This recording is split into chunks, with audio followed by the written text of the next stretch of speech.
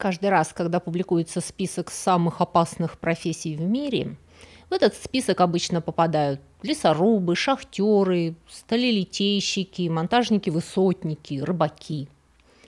Но ни одна из этих профессий даже близко не стоит по опасности с катапультированием человека из дула бутафорской пушки со скоростью 100 км в час, полетом по воздуху без какого бы то ни было парашюта или страховки – и попыткой приземлиться в сетку или на надувную подушку, не промахнувшись и не свернув себе шею.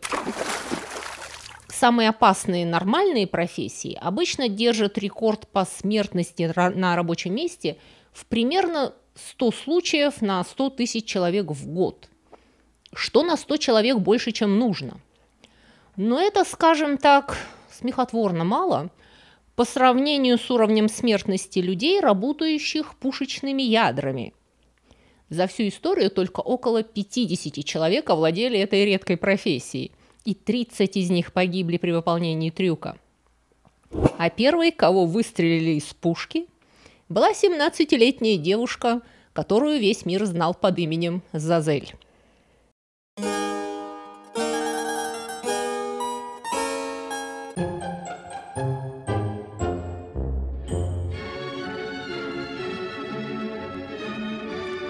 Она родилась в 1860 году в цирковой семье. С опилками в крови, как тогда говорили.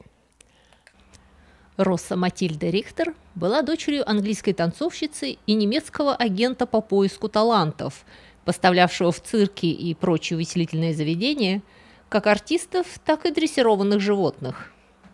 Ее учили падать раньше, чем ходить. В старой заброшенной церкви в Лондоне была протянута проволока от алтаря к галерее, а под ней страховочная сетка. И там маленькая Роса практиковалась ходить по канату. Никто не сомневался, что она станет циркачкой.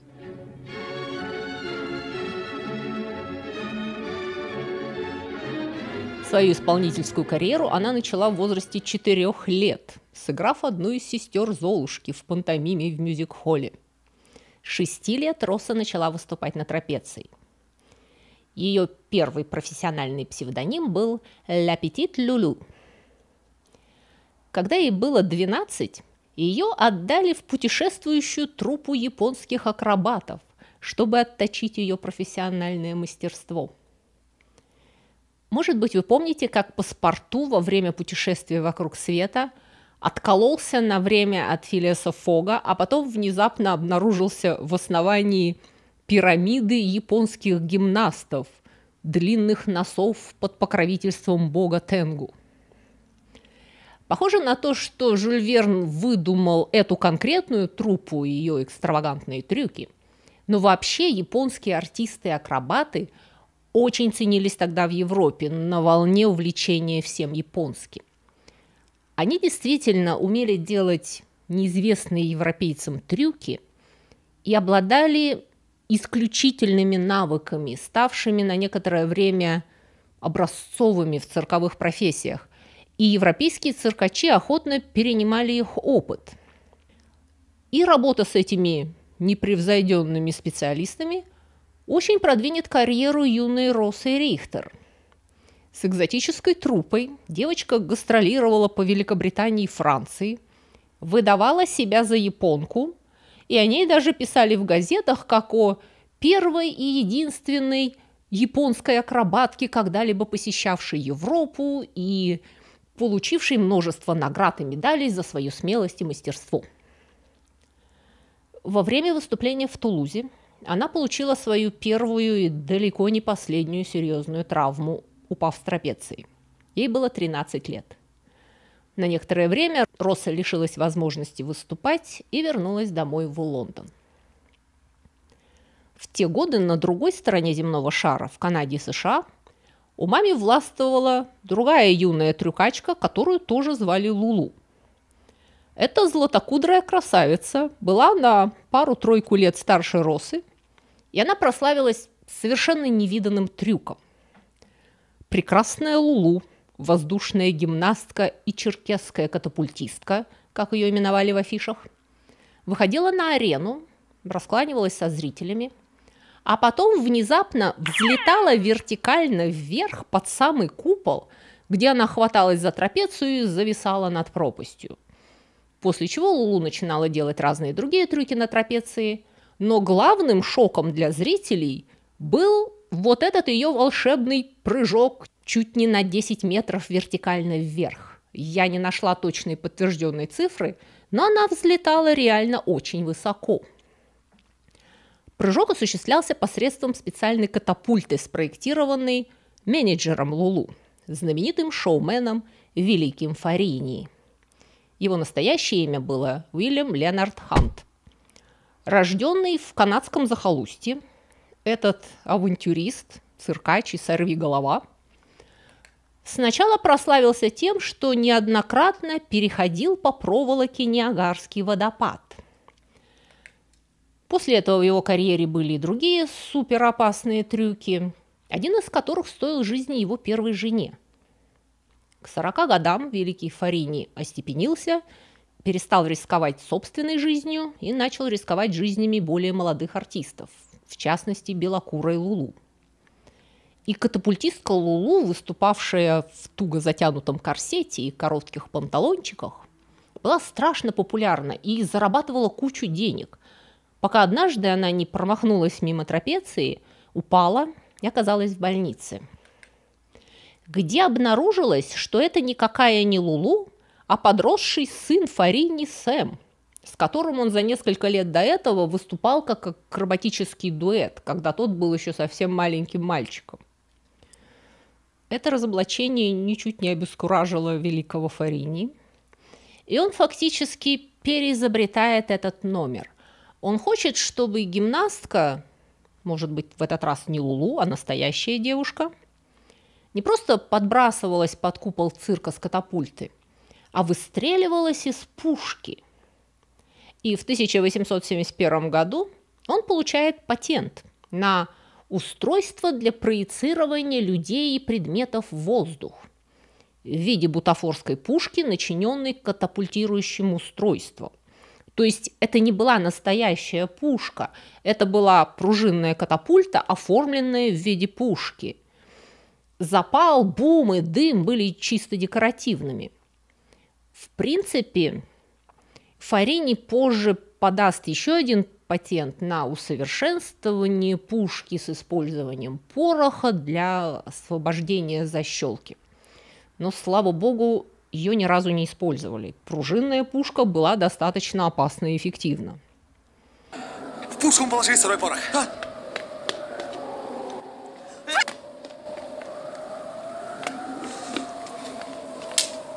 Зачем сырой порох? Ну не убийцы же мы. Как раз в это время Королевский аквариум в Лондоне был такой ныне существующий развлекательный комплекс, включавший в себя помимо, собственно, аквариума, театр и концертный зал. Понял, что он разорится, если будет продолжать почивать публику классической музыкой и художественными выставками. И они наняли Фарини, чтобы тот придумал им какую-нибудь прибыльную развлекательную программу, на которую реально пойдет зритель. И Фарини решает, что это идеальная площадка для испытания его нового аттракциона. Он ищет в Лондоне исполнительницу для этого трюка. И его внимание привлекает лондонская Лулу Роса Рихтер.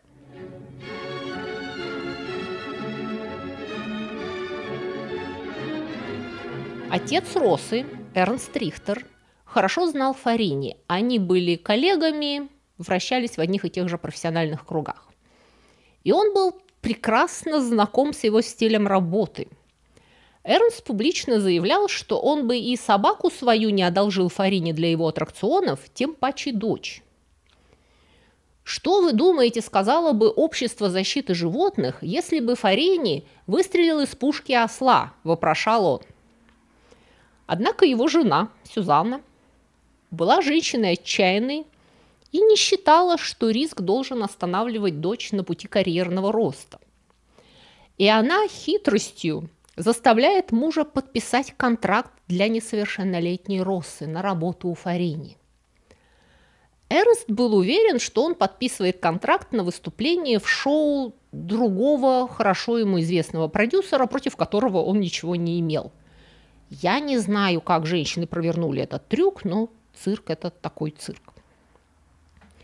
И вот так обманом 17-летняя Роса оказалась в трупе великого Фарини, который сделал из нее первое человеческое пушечное ядро. Ну, будем исповедоваться.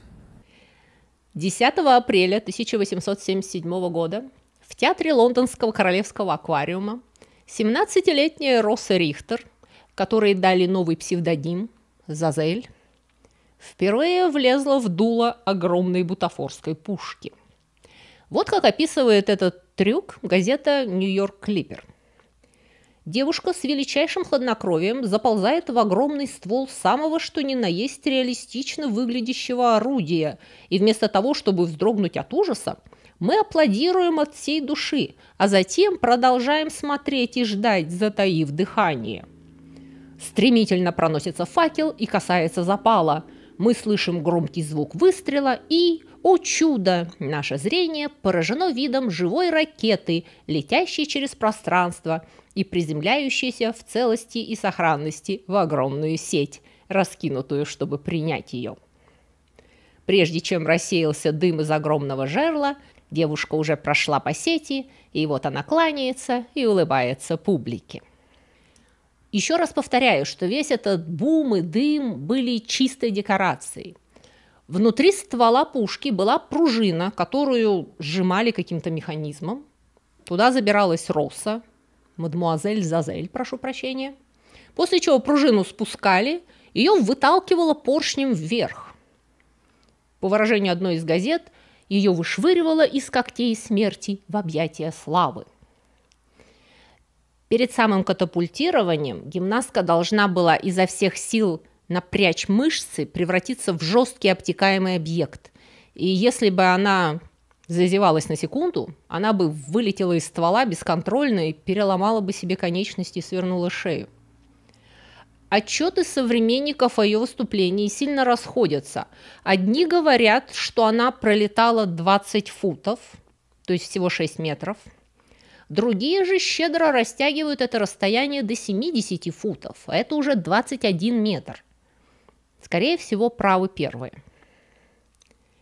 Выступления Зазель спасли аквариум от финансового краха. Трюк стал страшно популярен. Она давала по два представления в день перед полным залом. Одно выступление могло собрать десятки тысяч зрителей. С 8 утра до 10. Подвиг. Благодаря восторженным газетам и грамотной рекламе Зазель быстро прославилась, и Фарини устроил ей гастроли по всей Европе. И повсюду зрители восторгались ее смелостью и физической выносливостью. Утверждали, что принц Уэльский, будущий король Эдуард VII, это прадед нынешнего короля, был ее горячим поклонником – Выстрел из пушки был не единственным ее трюком. Как правило, она проделывала его под финал своего шоу. А сначала она выступала на трапеции, прыгала в сетку из-под купола, ходила по канату, зачастую без балансировочного шеста. На канате она могла танцевать, сидеть, стоять на одной ноге, лежать и вертеться, зацепившись коленями. Особое очарование мероприятию придавала кажущаяся легкость, с которой Зазель проделывала все трюки. Ее безмятежная улыбка и изящный книгсин в конце неизменно вызывали бурю аплодисментов. Публика была в восторге от видимой легкости и беспечности, с которой юная девушка рисковала жизнью. И кое-кто из публики начал возмущаться –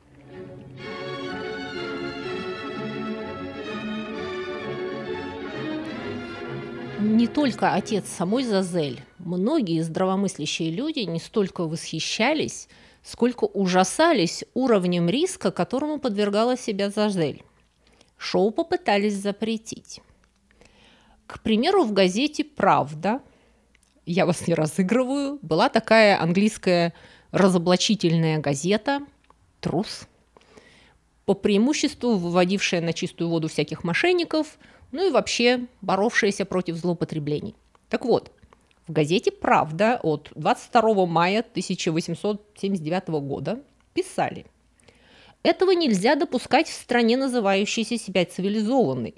Мы клеймим испанцев, посещающих кориду, но Матадор или Пикадор всего-навсего ставит сам себя в рискованную ситуацию, напрямую зависящую от его мастерства. Обратите внимание, что тогда еще никого не беспокоило, в какую ситуацию был поставлен бык. Продолжаю цитату. Однако, если бы в Испании деляги нанимали детей и заставляли тех сражаться с быками на арене, это вызвало бы всеобщий протест. При этом мы в Англии разрешаем, более того, мы голосуем деньгами за то, чтобы ребенок падал с большой высоты или им стреляли из пушки для наживы барыги. Жалобы обеспокоенных людей поступили к министру внутренних дел Ричарду Кроссу – и тот пообещал менеджеру аквариума, мистеру Робертсону, что он будет нести личную ответственность, если с мадемуазель Зазель случится несчастный случай. В ответ нахальный Робертсон предложил Кроссу самому занять ее место, он готов был выстрелить из пушки даже министром. Он был так счастлив, что не нужно объявлять банкротство – что готов был поверить в то, что этот трюк совершенно безопасен, как уверял его Фарини. Тем не менее, несчастные случаи не заставили себя ждать. Первый случился в аквариуме, второй, более серьезный, во время гастролей в Портсмуте в 1879 году, где страховочная сеть, куда приземлялась Зазель, порвалась. Она до какой-то степени смогла погасить энергию, и Зазель ничего себе в тот раз не сломала, однако ее состояние было настолько серьезным, что она не смогла выступать на следующий день. Отец Зазель, Эрнст Рихтер, был вне себя и очень волновался за дочь.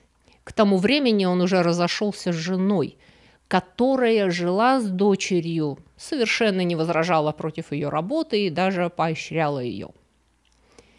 Позже, в том же году, 15 декабря 1879 года, Зазель упала с трапеции и соскользнула с края страховочной сетки. Ей опять повезло не получить серьезных травм, хотя сразу после падения девушка казалась оглушенной, и ее вынесли со сцены на руках – и на следующих выступлениях руки у нее были забинтованы, и от зрителей не могла укрыться ее явная нервозность. Бедная девочка боролась со страхом упасть, ее покинула прежняя легкость и беспечность. Газеты очень возмущались, требовали наказать менеджеров и даже настаивали, чтобы министр внутренних дел наложил ограничения – на самоубийственные сенсационные акробатические трюки. Клеймили также тех, кто ходит на подобные представления, поощряя тем самых их организаторов и подбивает неразумных детей рисковать жизнью за деньги и славу. В 1880 году в Палату общин был внесен законопроект об акробатах и гимнастах, целью которого было предотвращения опасных акробатических трюков. В двух палатах парламента прошли длительные дебаты, большая часть которых была сосредоточена на том, как провести грань между опасными и приемлемыми трюками. Вообще викторианская Англия была страной очень свободного капитализма. И запретить людям зарабатывать деньги любым способом там было очень сложно – вы, возможно, знаете истории о девочках с фосфорными спичками, зарабатывавшими себе некроз челюсти, и о ядовитых красителях, отравлявших рабочих. В континентальной Европе их начали запрещать гораздо раньше, чем в Англии. Наложить запрет на какую-то коммерческую деятельность Великобритании было крайне сложно, даже если она влекла очевидную опасность для участников. Сама Зазель, узнав, что парламент всерьез занялся законом, который мог запретить ей выступать, была в отчаянии. Несмотря на весь риск и боль, она делала это добровольно и охотно. «Я любила риск», — говорила она впоследствии. «Эти джентльмены не имели права отнимать у меня то, что я любила больше жизни. У меня были амбиции, я хотела быть великой. Это было мое искусство».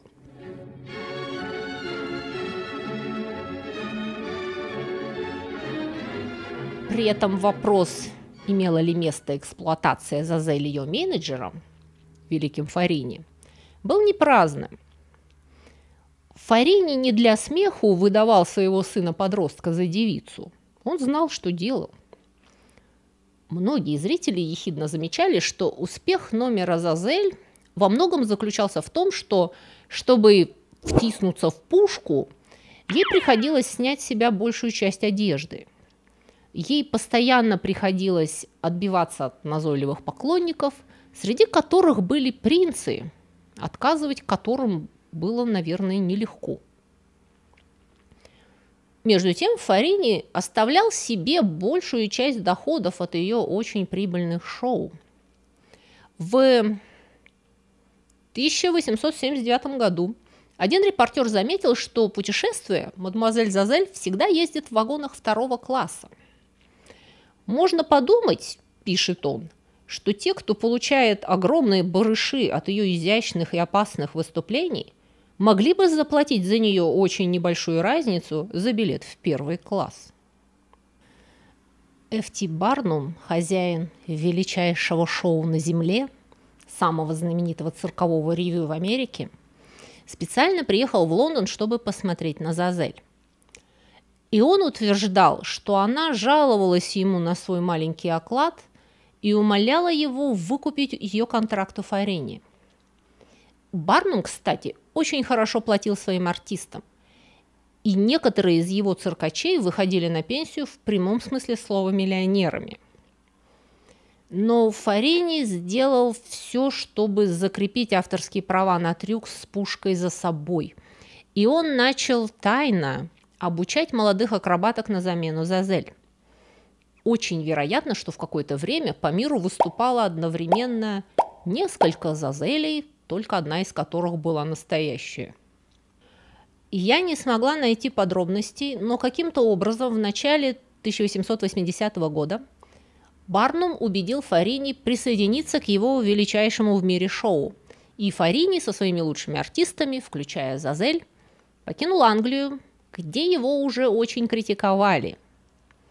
И во время этих годовых гастролей в Америке Росса Рихтер вышла замуж за Джорджа Оскара Стара, работавшего пресс-агентом в цирке Барнума. Фарини позаботился о том, чтобы выжать из этого брака максимум пользы для себя. А то опять начали циркулировать слухи, что Зазель – это переодетый мужчина. Люди просто не могли поверить, что женщина может чисто физически выполнять некоторые из ее акробатических трюков. После американского турне Фарини вернется в Лондон, где начнет новую для себя деятельность – демонстрировать за деньги странных людей. Барнум, кстати, сделал себе репутацию на своих шоу уродцев. И Фарини решает тоже попробовать. Самым знаменитым экспонатом его человеческого зоопарка была его приемная дочь Крао, девочка с гипертрихозом, у которой волосы росли по всему телу. И Фарини демонстрировал ее за деньги, как переходное звено между обезьяной и человеком. Росси с ним стало окончательно не по пути, и они с мужем на время оставят цирк и попытаются создать свою собственную оперную труппу, с которой они будут гастролировать по Америке. И Роса продемонстрирует, что она вполне способная артистка опереты, может петь и танцевать. Но их затея продержалась недолго. В конце 80-х Джорджу Стару предложили должность директора цирка Барнума, и супруги возвращаются в цирковую жизнь. Одновременно Росса начинает использовать свой опыт для пропаганды цирковых сетей безопасности, для поимки людей, выпрыгивающих из горящих зданий. Одетая в обычную уличную одежду, она бросалась из окон многоэтажных домов в сеть на глазах у восхищенной публики. Никогда еще не было более бесстрашной женщины-гимнастки, чем эта Зазель, писали газеты, которая беспечно прыгнула из окна четвертого этажа, чтобы проиллюстрировать возможности акробатической сетки как средство спасения жизней. Она обвязала свои юбки толстым шнуром и прыгнула в центр сети так же уверенно и грациозно, как дама выпрыгивает из кареты. За свою храбрость и образовательные усилия Зазель получила персональную благодарность от пожарной службы Нью-Йорка. Но в 1891 году ее удача истекла. В тот день Зазель сначала вылетала из пушки, а потом должна была танцевать на натянутой проволоке. Проволока находилась на высоте около 8 метров над землей и шла от боковой части циркового шатра к двум столбам на арене, между которых находилась платформа. Как потом выяснили опросы свидетелей, эти столбы должны были быть скреплены между собой стальной проволокой. Но в тот день этого почему-то не было сделано. Когда Зазель вышла на проволоку, столбы начали расходиться. Проволока ослабла, и она упала на арену. Она приземлилась на четвереньки, и один из опорных столбов рухнул прямо на нее поперек ее спины. Поверх повалилась платформа, канаты и все прочее.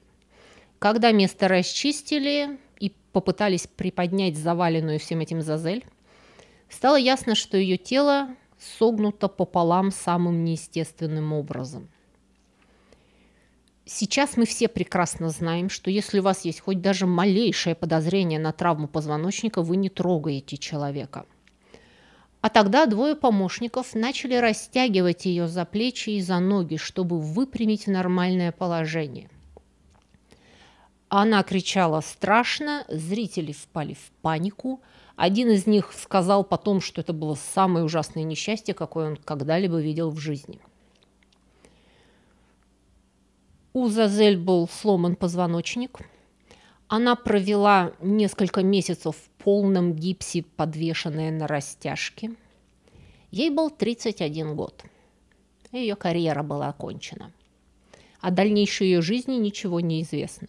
Зазель, Роза Рихтер-Стар, девушка-пушечное ядро, умерла 8 декабря 1937 года в Лондоне в возрасте 67 лет, совершенно забытой но ее трюк продолжают повторять смельчаки по всему миру. Пушки становятся больше, скорость и дальность полета увеличивается. Ни Англия, ни одно другое государство не запретили этот трюк. Хотя, конечно, существуют местные регуляции, обеспечивающие какую-то безопасность каскадеров. Несмотря на это, последний из человеческих ядер погиб в 2011 году – когда его сеть сложилась до того, как он в нее приземлился. Это ставит перед нами вопрос. Что важнее, жизнь или жизнь по своим правилам? Следует ли обществу контролировать людей, стремящихся преодолеть границы возможного, несмотря на грозящую им опасность? Общественная безопасность, безусловно, важна. Но означает ли это, что государство всегда обязана защищать людей от всех возможных опасностей. Может быть, барон Мюнхгаузен в шлеме и спасательном жилете – это уже не тот самый Мюнхгаузен. И вы, конечно, понимаете, что фильм, который я неоднократно сегодня цитировала, не о том, можно и нужно ли рисковать, а о том, имеет ли государство право диктовать людям, что им делать и как им думать, и о чем рассказывать истории. На сегодня у меня все. Спасибо вам за внимание. Отдельно хочу поблагодарить моих подписчиков на Boosty и Patreon е за их постоянную поддержку этого канала. Если вы не знаете, что это такое, оставайтесь на рекламу моих других проектов. Всего вам доброго и до новых встреч!